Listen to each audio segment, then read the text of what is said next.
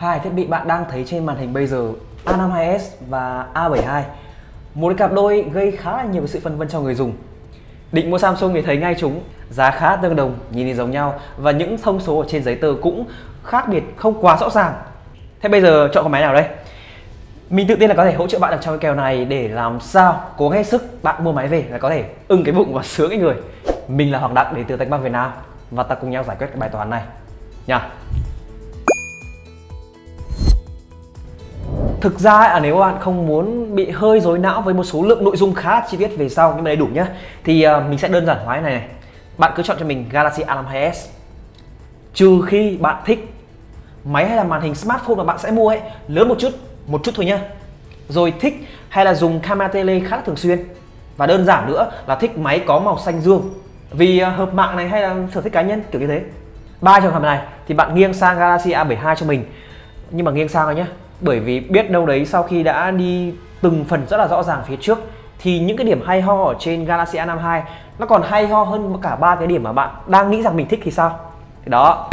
Rồi thế thì tại sao lại là Galaxy A52s cơ bản thì cái trải nghiệm trên máy cho mình cái cảm giác nó sướng này, nó thoải mái này và có thể gắn bó lâu dài. Tức là không chỉ sướng mà nó còn có thể sướng lâu dài và lâu hơn Galaxy A72 không phải là mọi mặt nhé nhưng mà về tổng thể là như thế thì cơ bản sẽ có bốn đến chính đầu tiên, và có lẽ là cũng quan trọng nhất, lớn nhất, khiến cho mình thích A52s hơn khá là nhiều, đó là về về cái gì ạ về hiệu năng chưa nói đến chơi game nhé ngay những cái tác vụ cơ bản thôi, thì A52s thích hơn nhờ hai cái yếu tố cấu hình vượt trội và màn hình tần số quét cao hơn. A72 là 90Hz còn A52s là 120Hz. Chỉ cần vuốt dọc new feed của Facebook thôi, ta đã thấy là A52s mượt hơn, thấy rõ rồi. Ban đầu thì mình nghĩ và có thể là bạn cũng nghĩ thế đúng không? Là 90Hz và 120Hz thì chắc là cũng không khác mấy đâu. Nhưng mà như mình đã nói ấy, thì nhờ tổng hòa hai yếu tố đấy mà vuốt chạm chuyển cảnh trên A52s thích hơn nhiều. Các thao tác như là mình mở để mà xem bình luận nhé rồi là đóng mở ảnh ở trên Facebook thì phản hồi của A52s cũng tốt hơn. A72 đôi khi có cảm giác nó khựng khựng lại hơi ngập ngừng. Rồi mở ứng dụng nữa thì A52s nhanh hơn còn 72 đôi khi thỉnh thoảng nó vẫn có cái hiệu ứng chuyển cảnh. Khá là tập trung tại sao lại thế khi mà mình đã bỏ ra một số tiền từ 10 đến 1 triệu đồng? Tức là không rẻ một chút nào. Thì ở mức giá này cái kỳ vọng của mình là cao hơn A72 ờ, tương đối. A52s thì không phải là hoàn hảo nhưng mà rõ ràng là trải nghiệm nó tốt. Và đặt cạnh A72 nữa thì uh, yên tâm hơn và ngon hơn. Thì đó. Ờ, nhưng mà đó chỉ là những tác vụ cơ bản thôi nhá. Với những cái tác vụ nặng đô hơn nữa thì sao? Khi mà đã chuyển qua những cái mặt này rồi thì à, đây Snapdragon 778G trên A52s và Snapdragon 720G trên A72 là hai cái thế giới khác biệt luôn. Từ Antutu Benchmark cho điểm tổng thể này, đến Geekbench 5 cho CPU hay 3D Max với GPU rồi Android Bench cho tốc độ đọc ký bộ ở trong. Trong ngoại bài chấm thì A5s có điểm số từ gấp rưỡi cho đến gấp đôi là chuyện hoàn toàn bình thường. Thế để mà mua về bạn chơi game chẳng hạn, từ tầm trung đổ lên như là PUBG Mobile chẳng hạn, thì à, A5s nha tạm kết lại cho cái phần thứ nhất thì A5s sướng hơn tương đối. Và A72 nếu bạn để ý kỹ thì Snapdragon 720G nó hơi bị uh, thấp quá so với mức giá uh, và cũng hơi cũ rồi ha. Thực ra nếu mà dùng riêng mỗi A72 thôi thì cũng được đấy. Nhưng mà khi đặt cạnh A52s thì nó rõ ràng là lép vế. Mỹ đã dành khá là nhiều thời gian ở cái phần này để mà nhấn mạnh một điều đó là nó quan trọng và từng giây từng phút bạn dùng máy qua thời gian ấy, thì đây là một cái trải nghiệm mà mình nghĩ rằng là với mức giá cũng không phải là rẻ cho lắm. Xét trên cái thu nhập bình quân đầu người của người Việt Nam thì A52s nó phù hợp hơn với cái mức giá này. Thì đó là cái chữ sướng đầu tiên. Chuyển qua phần 2 nhé. Nó xuất hiện ngay ở trong tên gọi của mỗi máy. A52s 5G thì sẽ có 5G còn A72 không? Trong ngắn hạn thì thực sự là mình cũng chưa quan tâm tới 5G nhưng mà ở tương lai cái thời điểm mà mình chưa biết trước sẽ như thế nào và chưa biết 5G sẽ có cái ứng dụng thực tế vào đời sống như thế nào uh, thì mình sẽ bỏ ngỏ cái khoảng lặng như thế. Nhưng rõ ràng đây là một cái công nghệ nằm trong xu hướng.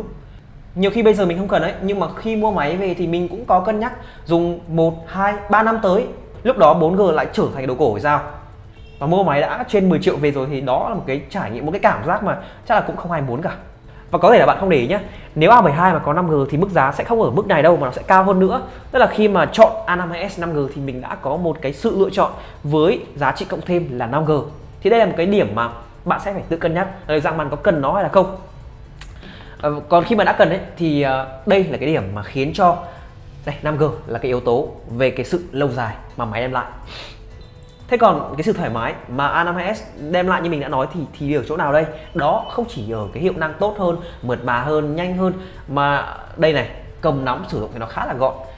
A72 thì cầm vào mà tay nhỏ nữa nó bị xòe ra. Và máy cũng hơi nặng hơn chút nữa nên là cầm sẽ nặng này hơn. Nên là về tính tiện thì mình chọn A52s thứ tư là giá rẻ hơn.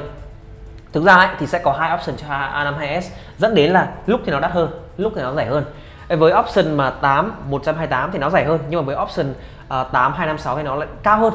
Còn A72 thì sẽ chỉ có một phiên bản là 8 256 và với mình nhé cái nhu cầu cơ bản của đa số người dùng và cả mình nữa thì uh, 128 GB là cũng ok rồi.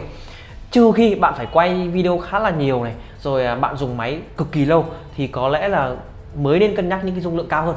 Còn với mình 128 GB là đủ. Và đây là một cái option khiến cho A52s có lợi về giá. Thì đó là bốn cái điểm sáng mà A52s 5G à, nó tạo ra so với cái ông anh A72 của nó. Còn nếu mà tóm gọn thì các bạn chỉ cần nhớ rằng là có hai yếu tố nó quan trọng như này này, là hiệu năng và 5G 5G thì bạn tự xem xét xem nhu cầu của mình như nào. Còn hiệu năng là một cái yếu tố nó cực kỳ quan trọng luôn. Đó, thì xong cái phần thứ nhất nha. Chuyển qua phần thứ hai. Như mình đã nói ở phần đầu thì vẫn sẽ có những người quan tâm tới A72 mà mình đã có lướt nhanh. Còn giờ thì sẽ nói kỹ hơn nữa nhé nhất là màn hình thì dù chỉ có lớn hơn 0,2 inch từ 6,5 lên 6,7 nhưng mà mình vẫn có cái cảm giác xem phim hay là lướt Facebook chẳng hạn thì màn của A72 nó thoải mái. Cảm nhận thực tế nhá.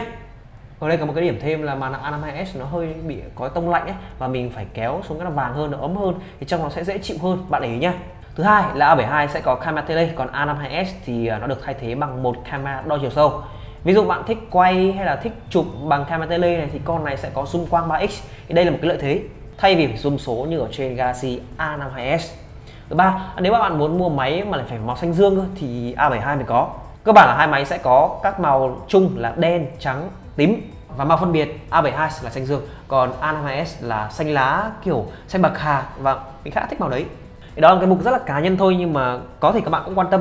À, trước đây thì mình hay để bỏ qua những cái mặt kiểu như này lắm nhưng mà sau này để ý lại thì màu sắc là một cái gì đấy mà có thể nhiều người cũng rất là quan tâm bởi vì nó đã dính đến ngoại hình thì chỉ cần một cái màu khác thôi thì nó sẽ khiến con máy bạn nó khác đi rất là nhiều ấy.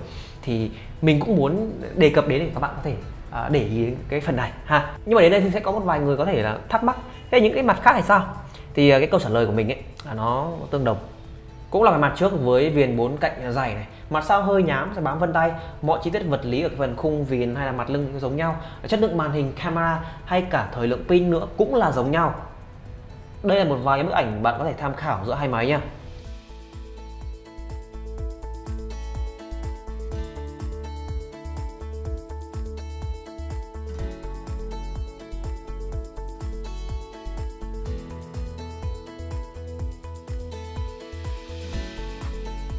Còn khi mình cho test spin ở cùng điều kiện thì đây là cái bảng thể hiện như bạn đang thấy đây. Rồi đó là mọi thông tin mình muốn chia sẻ về A52s và A72 à, ờ, cùng là Samsung mức giá khoảng 10 triệu đồng. Uh, xem xem nhau mọi thông số ngoại hình giống nhau. Uh, cực kỳ tương đồng đấy. Thì sẽ có nhiều người ít quan tâm tới công nghệ sẽ phải phân vân. Thì mình đã ở đây với những trải nghiệm thực tế để chia sẻ với mọi người. Như mình đã nói thì mình sẽ chọn A52s 5G còn bạn chọn máy nào thì tin chắc rằng đã có thể có cho mình một câu trả lời nó hợp lý với hai phần mình đã chia sẻ rất là rõ ràng ở phần trước. À, và nếu bạn vẫn đồng hành đến tận đây thì mình cảm ơn rất là nhiều và muốn theo dõi những nội dung khác nữa mình đã làm ở trên kênh thì à, sẽ có có thể ở đây hoặc ở đây. Youtube nghĩ rằng bạn sẽ thích những video đấy và hẹn gặp lại.